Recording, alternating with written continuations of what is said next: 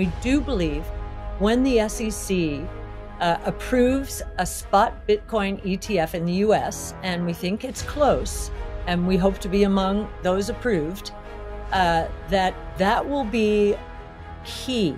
That will be a seal of approval for institutions to diversify into a new asset class. Cathie Wood provides a timely update on the pending approvals for Bitcoin ETF, suggesting that approval could potentially come as early as January 8th. Wood expresses a bullish outlook on Bitcoin, predicting a substantial surge in its value as an asset class. She anticipates that Bitcoin's market cap, currently at 700 billion, will skyrocket to 20 trillion, signifying a remarkable 30-fold increase. If this prediction materializes, Bitcoin's price would surpass a million dollars. The Securities and Exchange Commission, SEC, is actively reviewing several applications for the ETF, and the significant influence of BlackRock is contributing to a growing belief that we might soon witness the approval of at least one Bitcoin spot ETF. This prospective approval is seen as a historic milestone eagerly awaited by the Bitcoin community for well over a decade. Cathie Wood, the CEO of ARK Invest, underscores the decentralized and transparent nature of the Bitcoin network in her update. This characteristic is highlighted as a key factor, making manipulation of the cryptocurrency highly challenging. Wood's insights contribute to the broader narrative of optimism surrounding the potential approval of a Bitcoin ETF and the transformative impact it could have on the cryptocurrency landscape. We think in the in the crypto space, for example, there are three revolutions taking place: a money revolution, a financial services revolution, and uh, a digital asset property rights revolution. And they're all big. Uh, the biggest one, though, is the money revolution. That's Bitcoin, uh, because it's the first global, digital, decentralized, uh, private, no government oversight, rules based, critical monetary system in history. Uh, we think that's a $20 trillion idea by 2030. And right now, I believe uh, Bitcoin is valued in the marketplace at roughly 700 billion, something around there. So that's a very big idea. And many people in the developed world don't understand how big it is because they are not growing up or living in an emerging market, which is going through hyperinflation and dis- which is destroying purchasing power and wealth. So it's really taking root there with the exception of the regional banking crisis. And something very unusual happened during the regional banking crisis to Bitcoin and to other crypto assets. Um, typically, Bitcoin and crypto generally are risk on assets. You know, they, they tend to do very well in an overall bullish environment. Uh, what happened during the regional bank crisis, we had the regional bank index here in the United States imploding. We had banks going bankrupt, and Bitcoin went up from 19,000 uh, up nearly 50%. And uh, we thought, wow, this is proof positive that Bitcoin is also a risk off asset. What does that mean? It means there's no counterparty risk, unlike in the banking system. We've got a very decentralized, transparent network. No, you can you can see all the activity taking place by IP address no counterparty risk. Uh, so a very big idea. Now, artificial intelligence has has taken uh, a lot of the oxygen out of the room in terms of discussions out there. AI is the biggest catalyst to all of the innovation taking place out there right now. So, we have centered our research and investing around five major innovation platforms. Uh, they are robotics, energy storage, artificial intelligence, blockchain technology, and multiomic sequencing in the life science space. Um, if uh, we, we have a scoring system that measures which technologies are the biggest catalysts to the accelerated rate of growth of other innovations. In other words, there are convergences taking place between and among technologies. AI is the biggest catalyst. It scores, you know, top of the heap. And we think that every company will have to harness it or lose out competitively, either cost structure wise or new products and services wise. the other side of this is trying to figure out who are going to be the biggest beneficiaries of this absolute boom in innovation.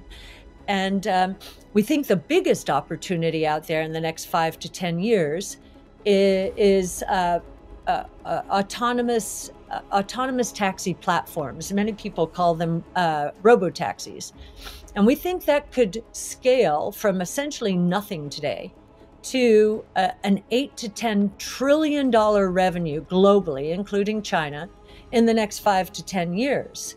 And I know a lot of people say, "No way." You see, Cruise Automation or Cruise here in the United States, owned by GM had to basically shut down its autonomous and GM's pulling away. This often happens with new in- innovations, and you see players who should stay in the market pulling out, just saying this is never going to happen. And then all of a sudden, you know, it happens and they're not there. We think Tesla is the biggest, is, is, um, uh, performing the biggest AI project in the world. Uh, and we think it's in the pole position here in the United States to get uh, what will be a winner take most uh, opportunity in the robo taxi space. And the interesting thing about that is that will redefine how people think about Tesla. Right now, they think about it as an electric vehicle manufacturer. Uh, that's a low margin business. It's in the gross margin category. It's uh, some players are as low as 10 or single digits in, in China. Uh, and Tesla's, we think Tesla will get on the EV side to a 30% gross margin. If autonomous is the next big play here, then that's a SaaS model, software as a service model. And the gross margins there are in the 80% plus. It will redefine what Tesla is doing completely. And so Tesla is doing what Apple did in redefining the, the wireless space. Um, it developed its own chip, the only cell phone manufacturer to develop, design its own chip. And today, it's number one in the smartphone market, computer in your pocket. The others did not define the market that way. Tesla's doing the same thing, only company to design its own chip, and it is redefining uh, the mobility market into autonomous mobility. Technology is collapsing. If you look at artificial intelligence uh, or, yeah, AI training costs, they're dropping 70% per year. And just to put some co- color into that, uh, if ChatGPT had been, if that model had been developed in 2015, five years before it actually was, it would have cost about $500 million to develop it. In 2020, when it was developed, it cost only $4.5 million. Today, it would cost 200,000 or less, and the costs continue to fall. So the, the, the other thing that's happening with AI in particular is uh, we're talking about large language models and natural language processing. All of us can do that. All of us speak natural languages.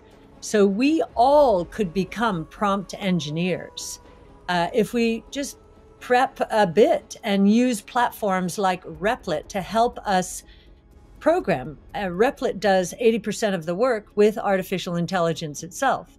So I think access is going to increase. And this network of VCs funding, you know, the companies in the valley, that uh, that is going to be an old model. There are innovation centers springing up around the world. Uh, we moved to St. Petersburg, Florida, in uh, two years ago because we saw that it was a fertile place for innovation. And we wanted to make a difference and attract tech companies there. And that is happening. It's happening all over the us it's happening around the world. When i visit uh, the world there's such an appetite to learn about innovation. And uh, and policymakers understand if they don't do something about this they're going to be uh, losing out competitively and leaving you know, high value add positions to other countries. So we're seeing, interestingly, regulatory arbitrage taking place.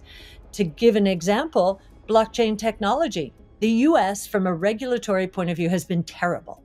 The EU has been much better in terms of clear regulations, uh, as opposed to the US, all muddled and confused.